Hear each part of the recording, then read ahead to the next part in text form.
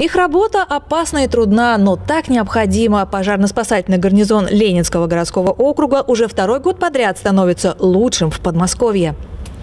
Такую оценку дали гарнизону за высокие результаты оперативного реагирования, качеству работы на пожарах и при чрезвычайных ситуациях и занятые призовые места на областных спортивных соревнованиях. Это вообще слаженная работа. Тут э, сто процентов и совместно с администрацией, совместно с объектами, которые так или иначе участвуют и в тушении пожаров, и помогают нам в организационной работе. То есть э, вся система РСЧС тут э, оценивается, как сработала в течение года. Сотрудники гарнизона готовы к выезду 24 часа в сутки, ведь призыв о помощи может поступить в любое время. В среднем в день обычно поступает 5-7 вызовов. Улица Заводская, дом 34, квартира 78, дым из окна. Теперь на сборы у спасателей есть 27 секунд, чтобы экипироваться, а затем умчаться навстречу с опасностью.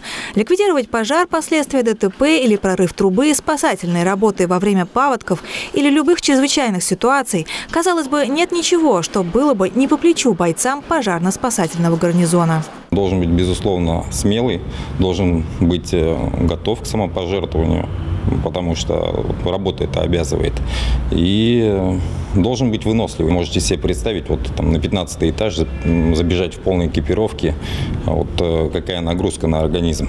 Константин Жаворонков уже пять лет работает спасателем. Говорит, с тех пор ни разу не пожалел о выборе профессии. Всегда тянуло совершать подвиги. Хотя, признается, работа не из легких. Когда ты находишься в дыму, да, там тушишь квартиру, как правило, или дом, ты ничего не видишь абсолютно полная темнота, ты видишь только вспышки, где-то там что-то горит. Видишь немножко огня и идешь на него. Идешь на температуру и на свет. И найти пострадавшего, да, в этот момент. И еще при, при этом потушить это все нужно и самому оттуда выйти. Это очень тяжело.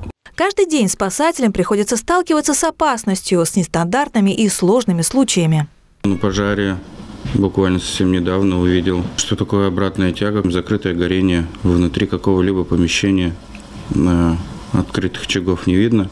Дверь открываешь и происходит хлопок. А, дверь, получается, вышибает и а, появляется сильная температура и открытые языки пламени.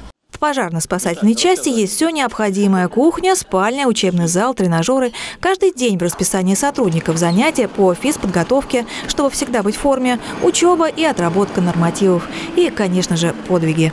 Екатерина Борисова, Александр Логинов, Ольга Садовская. Видно этого.